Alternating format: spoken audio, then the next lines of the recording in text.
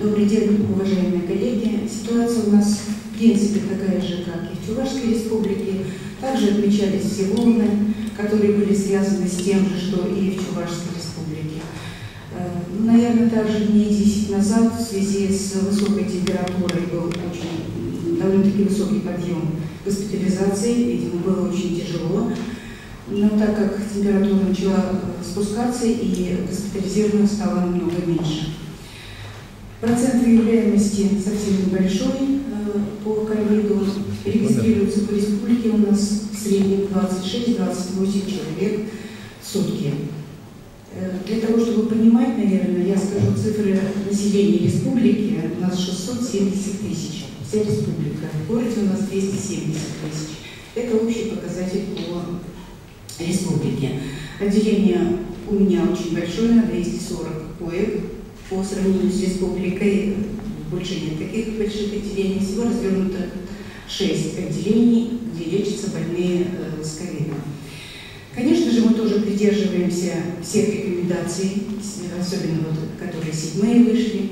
И схемы лечения идут все те же самые, что, наверное, и вся Россия использует. И также в самом начале, когда появились первые больные, мы были в растерянности, были э, в панике, чем помочь, как помочь. И в самом начале также мы начали применять полиоксидоний э, в совокупности с остальными препаратами, которые были рекомендованы и которые мы еще применяли. Первые двое пациентов, у которых мы применяли, они были уже на искусственной вентиляции легких, и мы отметили эффект буквально с э, первых двух инъекций внутривенного введения.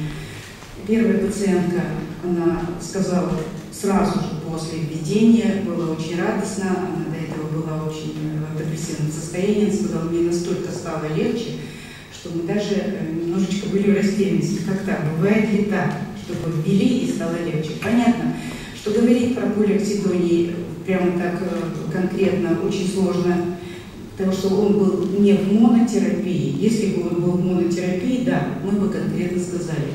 Препаратов применялось много параллельно, а, но а, те, кому применялся полиоксидоний на искусственной вентиляции легких, было два человека, а остальные около 20 человек применяли больным со средней степенью тяжести.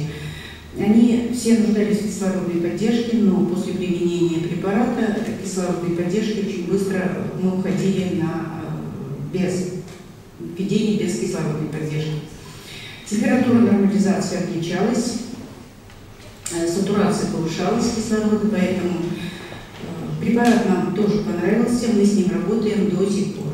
Естественно, применяя всю базовую терапию, противовирусную терапию, антибактериальную терапию. Но в качестве, наверное, больше антиоксиданта э, препарат нравится, мы с ним работаем.